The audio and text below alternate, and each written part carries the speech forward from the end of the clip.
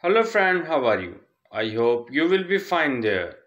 Today is 7th of Jan, Sunday morning and welcome back to my YouTube channel. This is your host Khan Baba. God will give you more happiness and long life. I try to my level best to give you latest update about dinar. So please like and share my video with your friend and family which will help me for supporting and now let's start the today information. Now, the bank screens are going solid rates on front and back screens and are showing on our redemption center screens. On the back screen, solid but the front screens are still flashing. Now, what's interesting about that is that the theory is that when those front screens stop blinking and go solid on these rates, that it would be go time, that we would get the green light. So I have a feeling they'll be blinking up until the treasury says go. Today Friday the Central Bank of Iraq revealed measures and decisions to support the dinar, and maintain its strength against other measures and currencies that will possibly affect the exchange rate. It makes sense to me that they are forcing Iraq citizens out of the US dollars and using the dinar before they revalue, then you have all them benefit from the revaluation. Plus it's part of de-dollarization in general and strengthens the dinar. To me this story is absolutely enormous.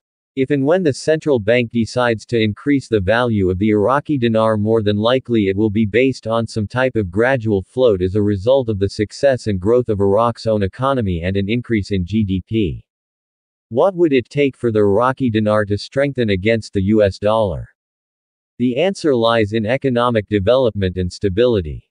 The Development Road project aims to boost Iraq's GDP by improving infrastructure, fostering foreign investment and stimulating economic growth. With the right steps and sustained growth the dinar's narrative can only get stronger. The dollar exchange rate will stabilize with the broader launch of the budget. All systems for the monetary reform are in place, they're just not linked yet. The uplink is not on yet. Many months ago the CBI told her banks to be prepared to be ready on January 1, 2024 because of all the banking system would be in place before 24. What they're doing right now is they're telling the citizens what they need to hear for the next step of the monetary reform. Once the lower denoms are announced the exchange inside Iraq will move even more quickly. You know how, through a float. Citizens want this movement to occur now. Citizens want their purchasing power. 12 to 1 exchange rate.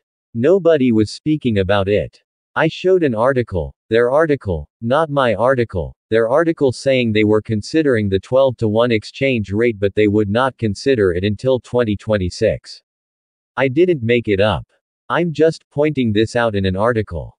I believe they are going to go up in increments between now and 2026. That's just my opinion. Thank you and take care.